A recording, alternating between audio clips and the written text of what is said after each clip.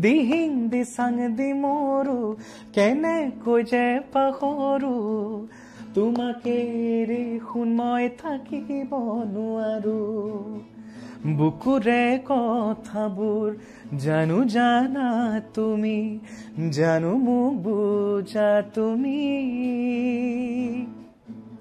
হিয়াৰে কথাবোৰ তোমাক ক'ব খুজি তোমাক চোন ক'ব নোৱাৰি প্ৰিয় দৰ্শক ই টিভি ভাৰতৰ এই বিশেষ অনুষ্ঠানলৈ মই দীপাঞ্জলীয়ে স্বাগতম জনাইছোঁ। আৰু আজি আমাৰ লগত উপস্থিত আছে জনপ্ৰিয় কণ্ঠশিল্পী পদ্মনাভ বৰদলৈ। আৰু পদ্মনাভ বৰদলৈক হয়তো বহুতেই জানে যে অসমৰ পৰা অসমক প্ৰতিনিধিত্ব কৰা ইণ্ডিয়ান আইডলৰ প্ৰথমগৰাকী ফাইনেলিষ্ট হয় পদ্মনাভ বৰদলৈ লগতে তাৰ সমান্তৰালকৈ তেওঁ চাৰেগামা পাতো অংশগ্ৰহণ কৰিছিলে লগতে ৰাইজিং ষ্টাৰতো অংশগ্ৰহণ কৰিছিলে।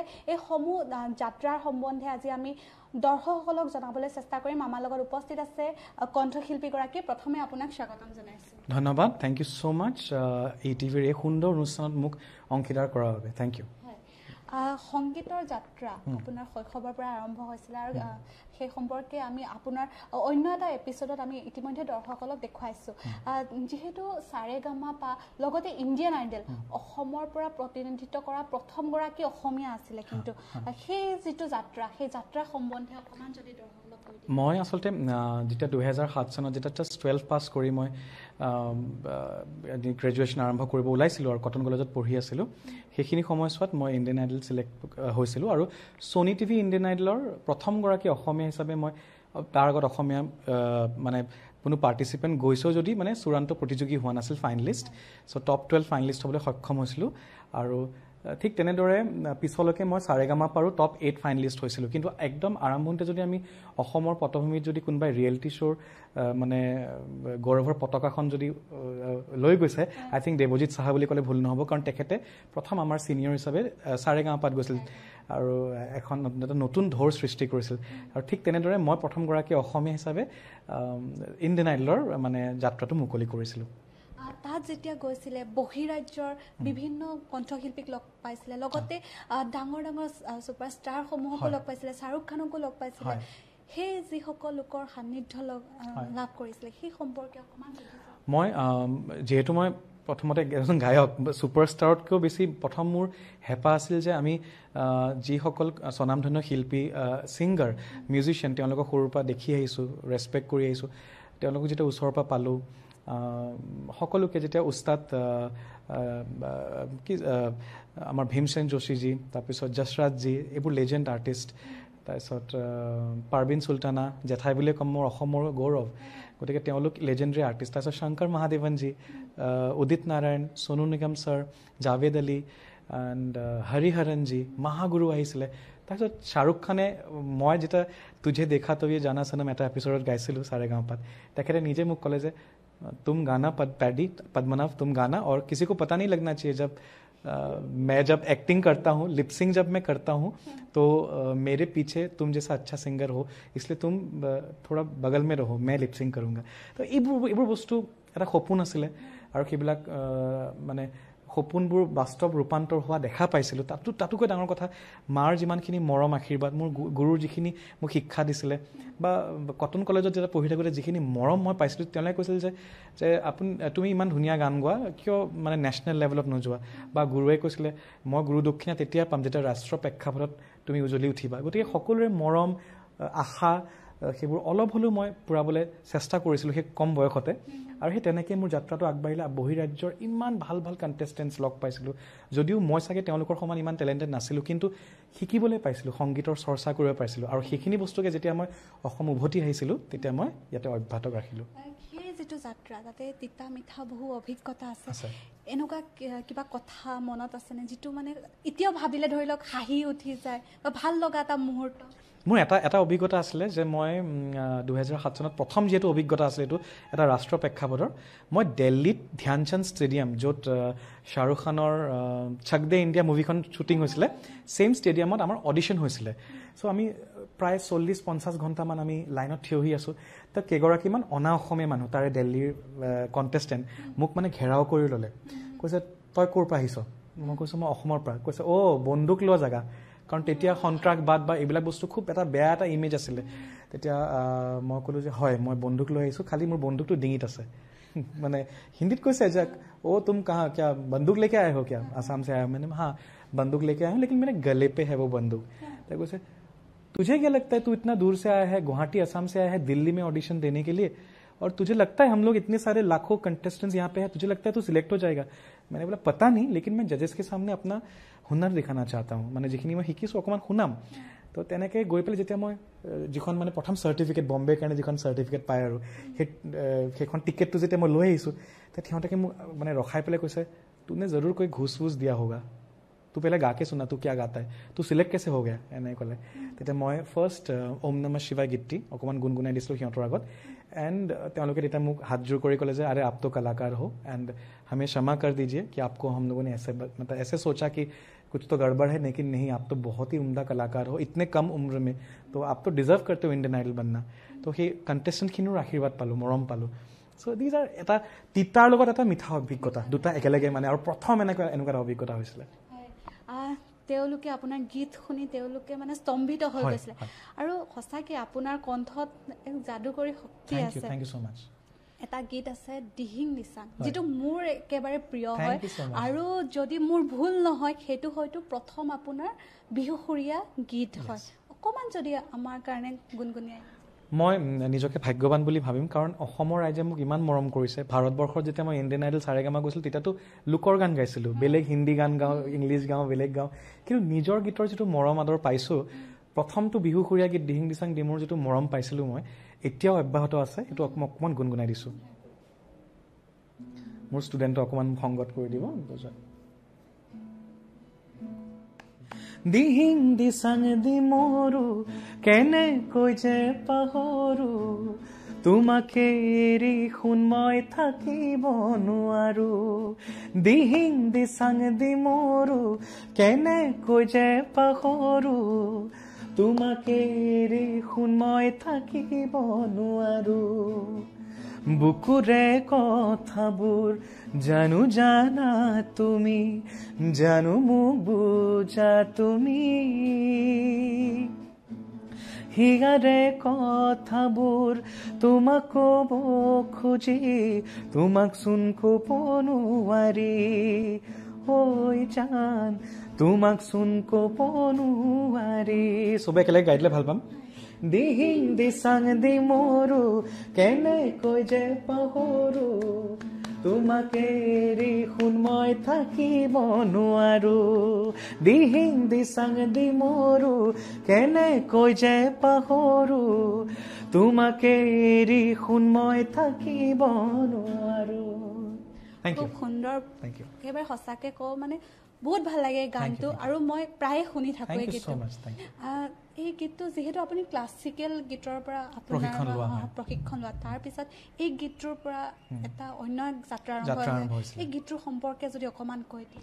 মানে মোৰ যিহেতু মই সৰুৰ পৰাই মানে ক্লাছিকেলি ট্ৰেইন বা শাস্ত্ৰীয় সংগীতৰ প্ৰশিক্ষণ লৈ আগবাঢ়িছিলোঁ আৰু মোৰ গায় গায়কীৰ শৈলীটো অকণমান বেলেগ আছিলে ইণ্ডিয়ান ক্লাছিকেল হওক বা লাইট মিউজিক হওক বা মেলডি হওক। তেনেকুৱা ধৰণৰ গীত গাইছিলোঁ। কিন্তু ফ'কৰ প্ৰতি মোৰ সৰুৰ পৰা মৰমটো আছে যদিও মই তেনেকৈ প্ৰশিক্ষণ লোৱা নাছিলোঁ। তাৰপিছত মই যেতিয়া ইণ্ডিয়ান আইডলৰ পৰা উভতি আহিলোঁ তাৰপিছত মই বহুত ৰিচাৰ্চ কৰিলোঁ। তাৰপিছত চাৰেগামা পাৰ কৰাৰ পিছতেই মই গম পালোঁ যে নাই মই অসমীয়া গান যথেষ্টখিনি মানে কম সংখ্যক ওলাইছোঁ। কিন্তু মই গম পাইছোঁ যে ফ'ক যদি মই ট্ৰাই কৰোঁ তেতিয়াহে মই নিজৰ মাতৃভূমিক মানে কিবা এটা ওৱান পাৰ্চেণ্ট হ'লেও কিবা এটা অৱদান দিব পাৰিম। কাৰণ অসমীয়াৰ অস্তিত্ব হৈছে বিহু। গতিকে সেইটোৱে যদি মই এবাৰ চেষ্টা কৰোঁ ভুল হ'ব পাৰে কিন্তু মই চেষ্টা কৰিম। তো সেই চেষ্টাটো কৰিলোঁ আৰু চেষ্টাৰ সাৰ্থক হোৱা ফলটো মোক ৰাইজেই দিলে। কাৰণ ৰাইজে মোক এইটো এইটো ক'লে যে ইমান সুন্দৰভাৱে প্ৰথম বাৰৰ বাৰৰ বাবে গাইছে আৰু ইমান ধুনীয়া হৈছে। গতিকে সেই তেনেকৈ যে যাত্ৰাটো আৰম্ভ হ'ল তাৰপিছত নন ষ্টপ বিহু গীতো কৰিছোঁ ৰাইজৰ মৰম পাইছোঁ আৰু এই গীতটিৰ কাৰণে মই কেইগৰাকীমান মানুহৰ নাম ল'ব লাগিব। মোৰ মাৰ আশীৰ্বাদটো আছেই সদায়। তাৰ লগত প্ৰয়াত প্ৰয়াত প্ৰশান্ত কলিতা মোৰ ঢোলবাদক আছিলে নগাঁৱৰ ল'ৰা আছিলে। সি মোক যথেষ্ট সহায় কৰিছে। লগতে বিদ্যুৎ বুলি মোৰ ভাইটি এজন আছিলে বাঁহী বাদক। আহ, প্ৰশান্ত আৰু বিদ্যুতে ধুনীয়াকৈ গীতটি ধুনীয়াকৈ লিখিবলৈ আমাৰ লগত একেলগে বহি লিখিছিলে। আৰু দিহিং দিচাং মেইন ফ্ৰেজটো মই আৰু মোৰ এজন বন্ধু মালিগাঁৱত থাকে ইন্দ্ৰজিৎ আমি সেই পাৰ্টটো সুৰ কৰিছিলোঁ। গতিকে চাৰিজন সংগীত প্ৰেমী আমি চাৰিজনে মিলি একেলগে ৰেৱাজ কৰি ৰিহাৰ্চেল কৰি পেলাই এটা জইণ্ট এফৰ্টত আমি সেই গীতটি ওলাইছিলোঁ আৰু সেইকাৰণে চাগে ৰাইজে আঁকোৱালি লৈছিলে এতিয়া দেখা পোৱা গৈছে যে বহু নতুন কণ্ঠশিল্পী আহিছে আৰু তেওঁলোকৰ এটা গীত তেওঁলোকে গায় গোৱাৰ পিছত তেওঁলোকে ধৰি লওক ফেমাছ হৈ যায় সেই। গীতটো ৰাইজে আদৰি লয়। কিন্তু আপুনি আপোনাৰ দৃষ্টিভংগীৰে ক'ব কি আখ্যা দিব যে এটা গীত গাই ফেমাছ হোৱাই তেওঁলোকক কণ্ঠশিল্পী বুলি ক'ব পাৰি নে নোৱাৰি নহয় এইটো প্ৰশ্নটো তাৰমানে কি হয় প্ৰত্যেকজন মানুহৰ যাত্ৰাটো জীৱন যাত্ৰাটো বেলেগ। এতিয়া মই কষ্ট কৰি সৰুৰ পৰাই গান শিকি বুজি এতিয়াও শিকি আছোঁ। যদিও মই ল'ৰা ছোৱালীক গান শিকাওঁ মই এতিয়াও কিন্তু গুৰু হ'লেও কিন্তু মই এতিয়াও শিষ্যই হৈ আছোঁ। আৰু মৰাৰ আগমুহূৰ্তলৈকে মই সংগীতৰ শিষ্যই হৈ থাকিম। কিন্তু মই গান শিকি পেলাই গান বনাইছোঁ। মোৰ কাৰণে গানটো হিট আৰু ফ্লপত মেটাৰ নকৰে। মোৰ কাৰণে সংগীতৰ শিক্ষাটো মেটাৰ কৰে।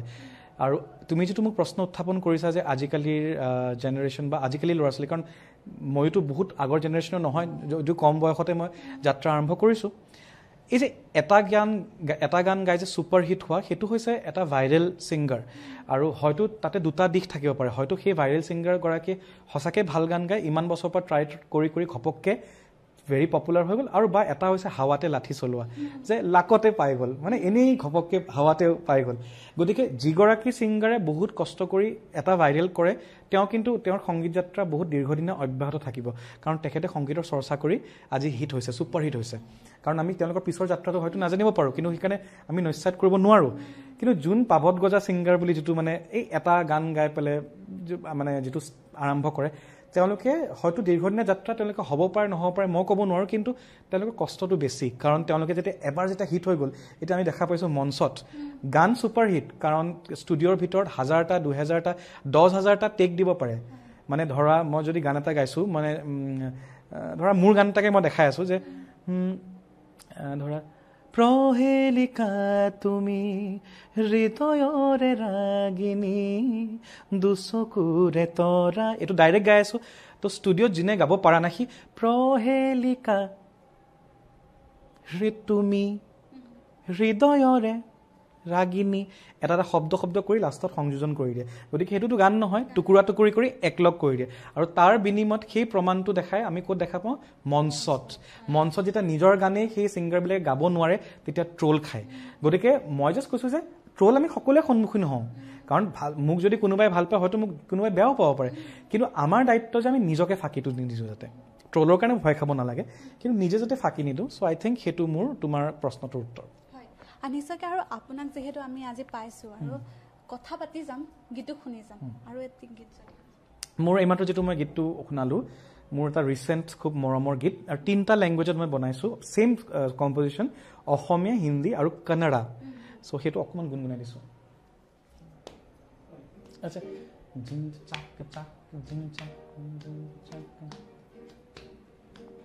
প্ৰহেলিকা তুমি হৃদয়রে রাগিনী দুচকুৰে তৰা সুবাসেৰে ভৰা মন বাবৰি চিপল দিল মে উঠি লহৰ ভৰে মোৰে নैনা ಲಗೆ ನಾಹಿಚ್ಚನ ನನ್ನ ರೇ ನನ್ನ ನನ ರೇ ನನ್ನ ರೇ ನನ್ನ ನನ್ನ ರೇ ನನ್ನ ನನ ರ ನನ್ನ ರೇ ನನ್ನ থেংক ইউ খুব সুন্দর বর্তমান আর কি কি গানের কাম চলি আছে বৰ্তমান আচলতে আমাক লকডাউনে খুব বহুত বস্তু শিকালে যদিও এতিয়া দুহেজাৰ তেইছ চন পালেগে কিন্তু দুহেজাৰ বিছ একৈছৰ পৰা বহুত শিকিলোঁ। অকল গানৰ এতিয়া অকল মই কম্পজিশ্যনে নকৰোঁ মই এতিয়া গান সুৰ কৰোঁ গান লিখোঁ আনৰ কাৰণেও গান সুৰ কৰোঁ লিখোঁ লগতে মিউজিক ডাইৰেকশ্যন কৰোঁ। এতিয়া ভিডিঅ' ডাইৰেকশ্যন কৰিবলৈ আৰম্ভ কৰিলোঁ মিউজিক ভিডিঅ' ডাইৰেকশ্যন লগতে শ্বৰ্ট মুভি ডাইৰেক্ট কৰিছোঁ। আৰু এতিয়া বৰ্তমান মোৰ মুভিজ মানে মুভিলৈকে মই ট্ৰাই কৰিম যে মিউজিক ডাইৰেকশ্যন আৰু ডাইৰেকশ্যন কৰাৰ সেইখিনি চলি আছে। লগতে বম্বেৰ মানে বম্বেৰ শিল্পী বা বাহিৰৰ শিল্পীৰ লগত সংযোজন কৰি কিছুমান ভাল প্ৰজেক্টছ ওলাই আছোঁ। যেনেকৈ এই প্ৰহেলিকা তুমিতো মই কেৰেলাৰ এগৰাকী তাৰ এষ্টাব্লিছ ছিংগাৰ তেখেতৰ লগত মই কোলাবৰেট কৰিলোঁ। আৰু তেনেকৈ আৰু বহুত প্ৰজেক্টছ আছে। তাৰপিছত মই ৰিচেণ্টলি কেনেডা তাৰে বা এগৰাকী আছে তেখেতৰ লগত মই এটা মানে আন্তঃৰাষ্ট্ৰীয় কলাবৰেশ্যন কৰিলোঁ।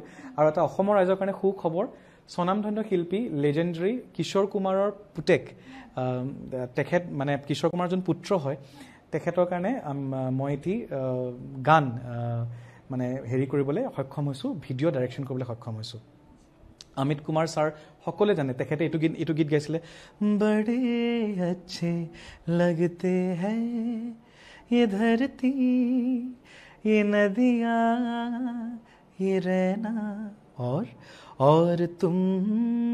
গতিকে লেজেণ্ডেৰী দেউতাকৰ লেজেণ্ডেৰী পুত্ৰ অমিত কুমাৰ ছাৰৰ কাৰণে মই এটা ভিডিঅ' ডাইৰেক্ট কৰিছোঁ আৰু আপোনালোকে তেওঁৰ তাতে চালে গম পাব ইউটিউবত আৰু চনু নিগম ছাৰে মোৰ মই ডাইৰেকশ্যন কৰা ভিডিঅ'টো শ্বেয়াৰ কৰিছিলে। গতিকে সেইটো এটা সুখবৰ। আৰু তেনেকৈ কামবোৰ অব্যাহত ৰাখিছোঁ। লগতে মই মোৰ ল'ৰা ছোৱালীখিনিক গান শিকাই আছোঁ মোৰ ছাত্ৰ ছাত্ৰীসকলক আৰু এটা নতুন ৰিয়েলিটি শ্ব' এটা সন্ধানত এটা ডাঙৰ এটা আমি পটভূমিত আমি ভাবিছোঁ যে নৰ্থ ইষ্টৰ ল'ৰা ছোৱালীখিনিক এটা সুন্দৰ ইণ্ডিয়ান আইডল হওক চাৰেগামাপা হওক ৰাইজিং ষ্টাৰে যেনেকুৱা এটা সুন্দৰ পৰিৱেশ দিয়ে তেনেকুৱা এটা মানে ৰিয়েলিটি শ্ব' মই ডাইৰেক্ট কৰি আছোঁ। চ' সেইটো অতি অতি শীঘ্ৰে ৰাইজে দেখা হ'ব। সেইটোতো অসমবাসীৰ বাবে একদম ভাল খবৰ। কাৰণ অসমত বহু প্ৰতিভা আছে। সেই প্ৰতিভাসকলক এখন মঞ্চ লাগে। আৰু মঞ্চ মানে অকল মঞ্চ হ'লে নকওঁ অকল এটা শ্ব' পাতিলেই নহ'ব। এতিয়া মোৰ কেনেকুৱা হৈছে মই আজি ষোল্লটা বছৰ অতিক্ৰম কৰাৰ পিছতে এই সাহসটো কৰিছোঁ। কিয় কিহৰ কাৰণে? কাৰণ মই ইমান বছৰ বাহিৰত গৈ সেই ৰিয়েলিটি শ্ব'ত মই ভুল ক্ৰুটিবোৰ সকলো শিকি গানৰ পৰা কণ্টেষ্টেণ্টৰ পৰা ডাইৰেকশ্যনৰ পৰা কথোপকথনৰ পৰা স্ক্ৰিপ্টৰ পৰা সকলোবোৰ ৰিচাৰ্চ কৰিহে এতিয়া মই সাহসখিনি কৰিছোঁ। গতিকে নট জাষ্ট এনি প্লেটফৰ্ম আমি মানে এনেকুৱা এটা প্লেটফৰ্ম দিব দিব লাগিব যে আমাৰ যিখিনি নৰ্থ ইষ্টৰ কণ্টেষ্টেণ্ট এটা প্ৰশ্ন তোমাৰো উত্থাপ উত্থাপন হয় আৰু ৰাইজেও ভাবে যে আমাৰ টেলেণ্ট বহুত কিন্তু বহুত কণ্টেষ্টেণ্ট যাব নোৱাৰে। কিয় নোৱাৰে? ক'ৰবাত চাগে কিবা এটা ভুল হৈ আছে। সেই ভুলটো শুধৰাবলৈ আমাৰ চিং লাইক এ ষ্টাৰৰ প্লেটফৰ্মখন দিম। আমাৰ তৰফৰ পৰা শুভেচ্ছা. থাকিলে। আৰু এয়া আছিলে কণ্ঠশিল্পী পদ্মনাভ বৰদলৈ আৰু তেখেতৰ বিষয়ে বহু কথা আজি দৰ্শকসকলক জনাবলৈ চেষ্টা কৰিলোঁ।